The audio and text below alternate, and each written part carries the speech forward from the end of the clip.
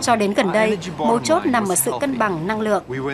Chúng ta đã rất an toàn bởi chi phí để khai thác năng lượng hóa thạch từ lòng đất nhỏ hơn rất nhiều so với những gì chúng đem lại.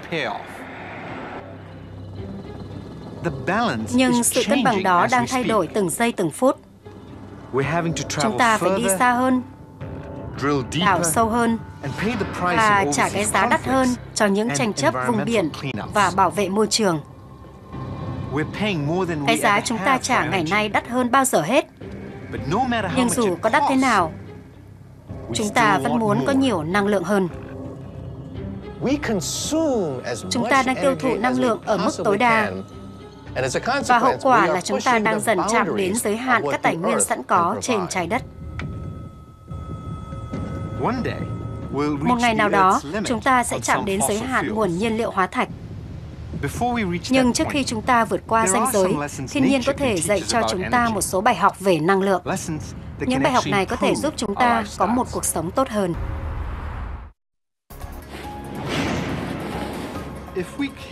Nếu chúng ta muốn tìm được cách thức sử dụng năng lượng hiệu quả, thiên nhiên có thể cho ta nhiều lời khuyên. Thực vật và động vật đều có cách tận dụng tối đa nguồn năng lượng sẵn có. Chúng là những hình mẫu cho các mô hình năng lượng hiệu quả đã làm thay đổi thế giới của chúng ta. Mắt của loài bướm đêm có thể hút từng chút ánh sáng hiếm hoi, chính là hình mẫu cho pin mặt trời. Động cơ càng nặng, hiệu quả sử dụng nhiên liệu càng thấp. Thân cây cứng cáp vươn lên cao, còn cành cây nhẹ hơn lại có thể đung đưa theo chiều gió. Chúng ta có thể thiết kế xe hơi tương tự như vậy, nghĩa là một số nơi cần cứng cáp để đảm bảo an toàn, một số vị trí khác nhẹ nhàng và linh hoạt để tiết kiệm nhiên liệu. Khi các kỹ sư Nhật Bản thiết kế tàu điện siêu tốc, họ dựa vào hình dạng mỏ của chim bói cá. Mỏ chim bói cá có thể cắt qua nước mà gần như không tạo sóng. Ngày nay, tàu điện có tốc độ cao hơn 10%, nhưng lượng điện tiêu thụ đã giảm hơn 15%. Tự nhiên không lãng phí một chút năng lượng nào. Chúng ta nên học hỏi điều đó. Ngày nay, lượng năng lượng chúng ta đang tiêu thụ có thể làm được nhiều hơn những gì chúng ta đang làm. Chúng ta có thể cải thiện nó. Các máy bay hiện đại tiêu thụ một lượng lớn năng lượng mỗi ngày, hơn 2% tổng lượng năng lượng của toàn thế giới. Nhà nghiên cứu cơ chế sinh học David Lenting tại Đại học Harvard đã tìm ra một cách thiết kế máy bay tiêu thụ ít năng lượng hơn. Chim có thể thay đổi cách mở cánh để tối đa hóa hiệu suất lướt gió. Nếu muốn có một chuyến bay hiệu quả nhất, ta sẽ cần đến các hình dạng cánh khác nhau. Chúng ta có thể học hỏi từ bậc thầy về cách thay đổi cánh của thiên nhiên. Đó là những chú chim. Lenting sử dụng các tia X tốc độ cao để ghi lại quá trình thay đổi cánh của chim. Như thế chúng ta có thể tua chậm lại và quan sát kỹ hơn. Khi bay với tốc độ thấp, cánh sẽ xòe rộng, còn nếu bay với tốc độ cao, cánh sẽ thu lại để tăng tốc độ. Tôi đang tìm hiểu xem việc làm đó giúp chúng tăng hiệu quả bay như thế nào. Nếu cánh máy bay cũng có thể thay đổi hình dạng theo từng điều kiện hoàn cảnh khác nhau, nó sẽ có tác động rất lớn đến việc tiêu thụ năng lượng. Nhưng chiếc 747 sẽ không chỉ giống chim ở vẻ bề ngoài nữa. Hãy hình dung xem hình dạng cánh đã giúp chim bay dễ dàng đến mức nào. Đó chính là nguồn cảm hứng để chúng tôi tìm kiếm những cơ chế bay hiệu quả, dễ bảo trì mà không tốn kém, để thế hệ máy bay trong tương lai sẽ hiệu quả hơn.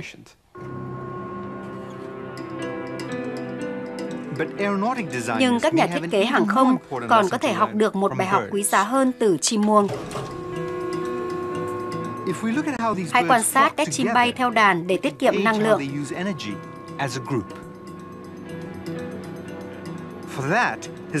Để nghiên cứu vấn đề này, họ đưa những chú chim vào một đường hầm gió.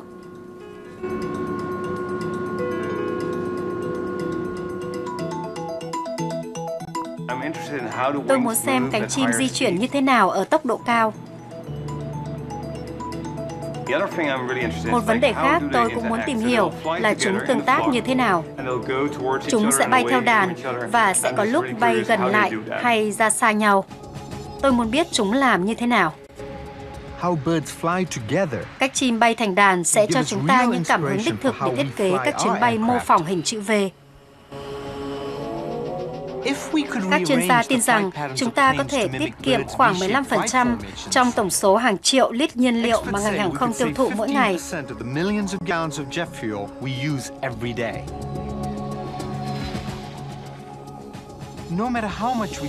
Nhưng dù có tiết kiệm được bao nhiêu, chúng ta vẫn cần đến các nguồn nhiên liệu mới.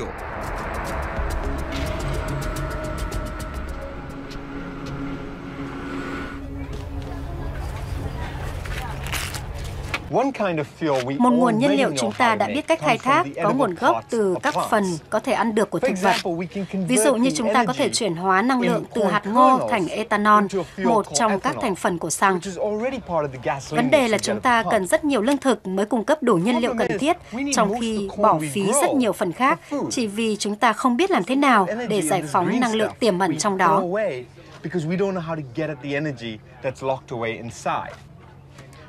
Chúng ta sẽ có thêm lựa chọn nếu có cách thức phù hợp. Năng lượng trong thực vật được chuyển hóa vào một loại nguyên liệu rất khó khai thác. Đó là cellulo.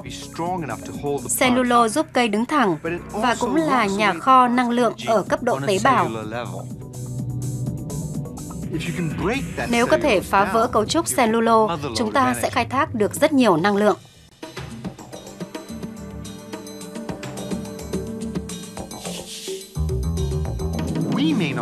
Có thể chúng ta chưa tìm ra, nhưng có những sinh vật đã rất thuần thục trong việc biến thực vật thành năng lượng.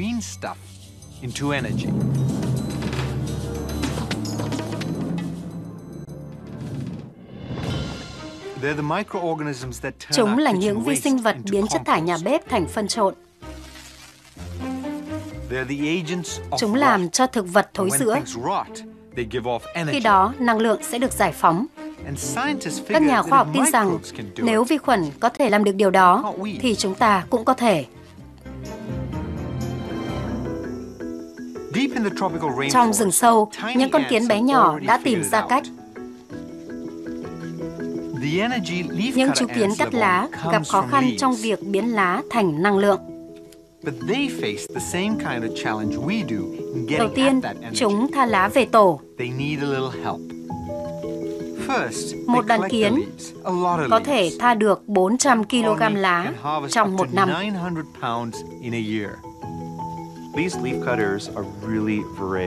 Loài kiến cắt lá này thật tham lam. Nếu còn ướt, số lá đó có thể nặng đến 4 tấn, tương đương với khoảng hai chiếc xe tải chở vật liệu loại nhẹ. Nhưng kiến không ăn lá cây ngay lập tức. Chúng chuyển lá cho một loài nấm và nhờ loài nấm này biến lá thành đường, năng lượng của kiến. Tiến sĩ Gareth Sun đang nghiên cứu cơ chế chuyển hóa của loài nấm này. Anh chắc chắn rằng chúng có một loại vi khuẩn nào đó để phân hủy lá thành đường. Chúng ta cần nghiên cứu vấn đề này bởi đường có thể dễ dàng chuyển hóa thành năng lượng khác như ethanol.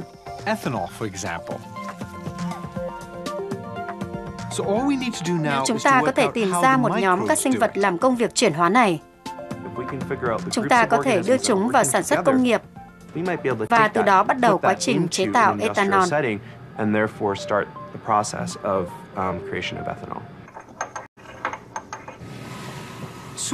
Tiến sĩ Sun tin rằng đó chỉ là vấn đề thời gian.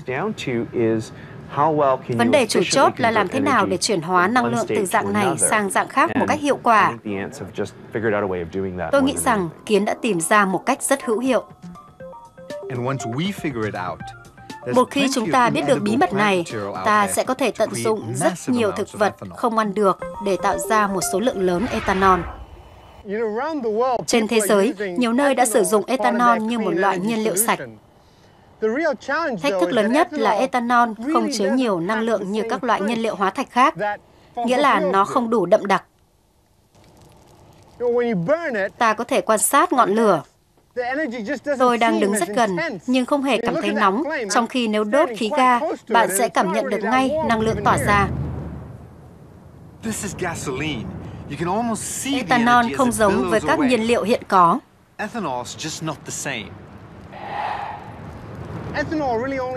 Nồng độ năng lượng chứa trong ethanol chỉ bằng 80% năng lượng của nhiên liệu hóa thạch. Như thế có nghĩa là bạn sẽ cần nhiều ethanol hơn để đi một quãng đường tương đương. Như vậy, dù cho chúng ta có tìm ra cách sản xuất đủ ethanol, chưa chắc mọi người đã sẵn sàng sử dụng nó hoàn toàn. Điều đó đặt ra một câu hỏi rất hóc búa. Liệu các nguồn năng lượng thay thế có độ đậm đặc tương đương với nhiên liệu hóa thạch không?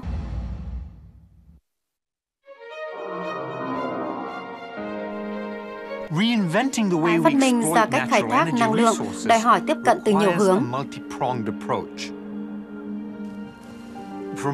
Từ việc khai thác năng lượng thô đến việc tìm hiểu cách thức sinh vật sản xuất, dự trữ và tiêu thụ năng lượng hiệu quả.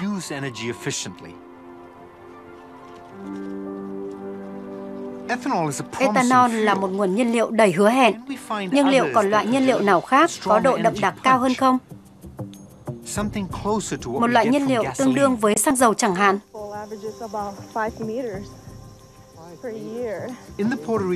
Trong rừng nhiệt đới Puerto Rico, nhà sinh vật học Jay Kisling cho rằng ông sẽ tìm được câu trả lời thông qua kỹ thuật di truyền. Chúng ta đang ở một thời đại mà đặc điểm sinh học cũng có thể có thiết kế riêng. Chúng ta có thể tạo gen, xây dựng hệ thống trao đổi chất, thay đổi thành phần hóa học của tế bào để có thể từ đường kính sản xuất ra một loại nhiên liệu giống hệt các nhiên liệu hiện có. Đầu tiên, Kisling sẽ cần biết các thành phần bí mật của quá trình. Và đó chính là những thứ ông đang tìm kiếm cùng với Grizen Gonzalez, kiểm lâm của rừng quốc gia.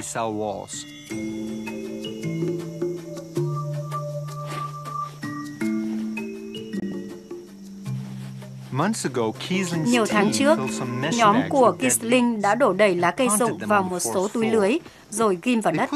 Họ đặt lá cây ở đó để thu hút vi khuẩn. Chúng đây rồi.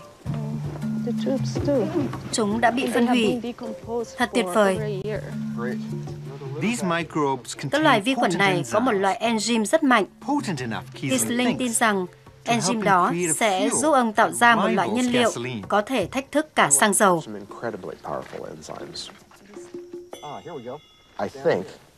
Tôi đang tìm kiếm một loại enzyme mạnh. Hãy xem, tôi cho rằng ở đây trong khu rừng rậm nhiệt đới của Puerto Rico có một trong những loại enzyme tốt nhất thế giới để phân hủy sinh khối. Một số vi sinh vật trong rừng có thể biến cả thảm lá khô thành phân bón trong vòng chưa đầy một năm. Kisling đã quay trở về phòng thí nghiệm của mình tại Đại học California các enzyme này có một chức năng cơ bản là nhanh chóng phá vỡ các phân tử lớn để có thể chuyển hóa thành năng lượng, dù là năng lượng cho sinh vật hay năng lượng cho ô tô. Thông thường những thứ chúng ta bỏ đi đều còn rất hữu ích. Một khi đã xác định được loại enzyme tốt nhất để phân hủy sinh khối và chuyển hóa thành đường, chúng ta có thể sử dụng chúng để sản xuất nhiên liệu sinh học. Nhưng đây không phải là loại nhiên liệu sinh học thông thường. Chúng ta đang cần một loại nhiên liệu sinh học mạnh tương đương với các loại nhiên liệu hiện nay. Kiesling đã tìm ra cách để có thể làm việc đó trong vòng một ngày, trong khi trái đất phải mất hàng triệu năm. Việc này rất thú vị. Chúng tôi dùng các loại sinh khối dễ cháy, nhưng lại còn ở dạng thô và khó đưa vào thùng nhiên liệu để biến chúng thành một dạng hóa chất và mang hàm lượng năng lượng lớn. Đây sẽ là loại nhiên liệu bạn sử dụng cho phương tiện giao thông sau này.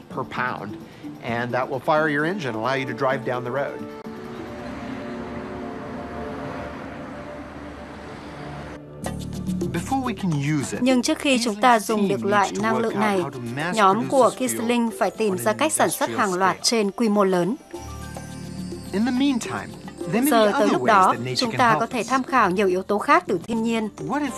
Biết đâu chúng ta sẽ tìm ra cách để sử dụng năng lượng trực tiếp và không cần phải chuyển hóa nữa, giống như cây xanh vậy.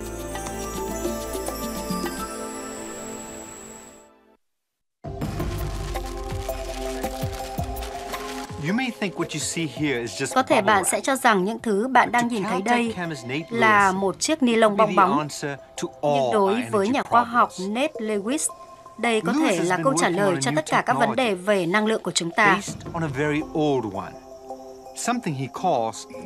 Lewis đang nghiên cứu một công nghệ mới dựa trên một kỹ thuật đã có từ trước đây. Đó là công nghệ lá nhân tạo. Ý tưởng của anh là mô phỏng lại chức năng của thực vật, lấy năng lượng từ ánh sáng mặt trời và chuyển hóa trực tiếp thành nhiên liệu sạch. Loại nhiên liệu có thể dự trữ và sử dụng dễ dàng cho mọi loại vật dụng. Ai cũng biết về thực vật, ai cũng từng nghe đến pin mặt trời. Và ở đây chúng tôi đang cố gắng kết hợp hai thứ đó. Thực vật dự trữ năng lượng cho cả ban đêm. Pin mặt trời không dự trữ được năng lượng nhưng lại hiệu quả hơn nhiều. Nếu chúng ta có thể kết hợp được ưu điểm của chúng, chúng ta sẽ có một thiết bị hoàn hảo. Những chiếc lá nhân tạo của Lewis hoạt động tương tự như lá thật. Đầu tiên, chúng chuyển hóa năng lượng mặt trời thành năng lượng hóa học, sau đó dự trữ phần năng lượng này. Thực vật dùng ánh sáng mặt trời để tách phân tử nước thành oxy và hydro. Chúng dùng hydro để tạo ra đường. Lewis không quan tâm đến quá trình tạo đường. Ông chỉ muốn có được hydro.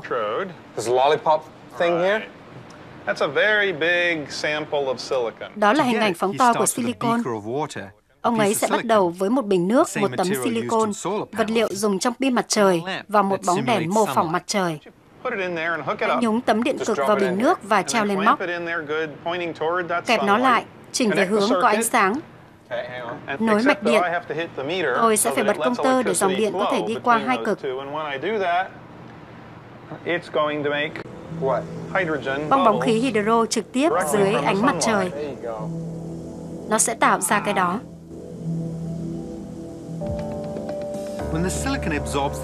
Khi silicon hấp thụ ánh sáng, nó sẽ kích thích các electron tạo thành hydro từ nước giống như thực vật.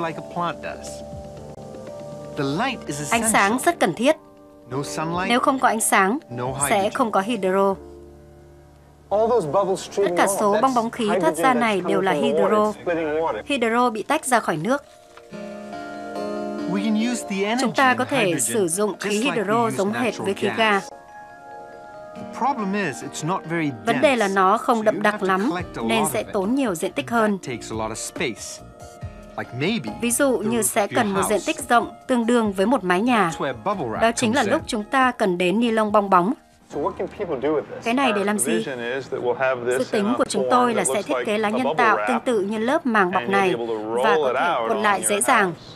Khi cần dùng, ta chỉ cần trải nó ra, đưa nước vào, để dưới ánh sáng mặt trời. Khí oxy sẽ bay đi, còn khí hydro được giữ lại để làm nhiên liệu cho các vật dụng trong gia đình hay xe cộ.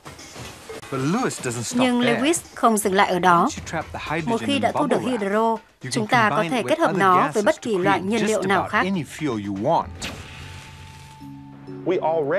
Chúng tôi đã có những quy trình hóa học đẳng cấp thế giới để thu hydro với khí carbonic và chế tạo methanol để từ đó chế biến ra xăng. Rõ ràng là chúng ta chỉ cần tạo ra năng lượng hóa học từ mặt trời, còn các giai đoạn chuyển hóa sau đó đều đã có sẵn. Người ta sẽ chuyển hóa khí thành dạng lỏng hay ngược lại tùy theo nhu cầu.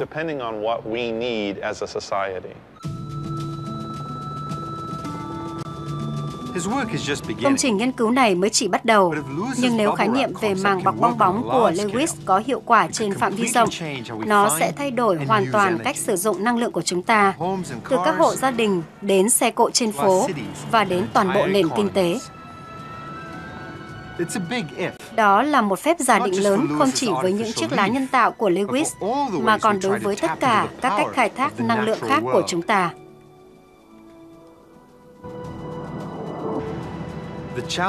Những thách thức trước mắt là rất lớn, nhưng chúng ta không còn cách nào khác. Thời gian không còn nhiều và nguồn năng lượng hóa thạch không phải là vô tận.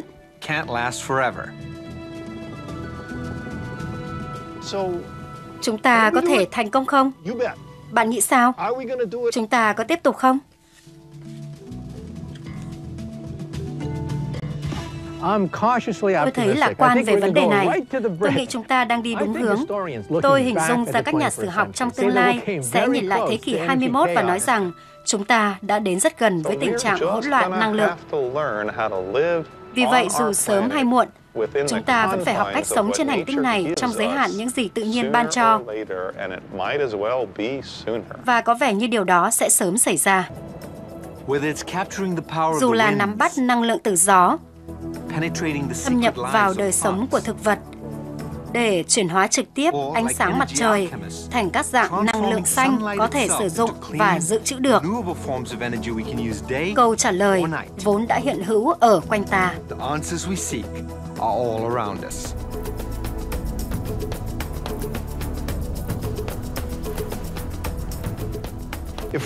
Nếu chúng ta có thể kết hợp giữa công nghệ và tài chính để khai thác nguồn năng lượng xung quanh ta, chúng ta sẽ tiến được những bước rất dài trong việc giải quyết một trong những vấn đề nan giải nhất của nhân loại ngày nay. Làm thế nào để có nguồn năng lượng sạch và bền vững để duy trì các hoạt động của chúng ta? Tất cả những gì chúng ta cần đều ở ngay trong tầm tay.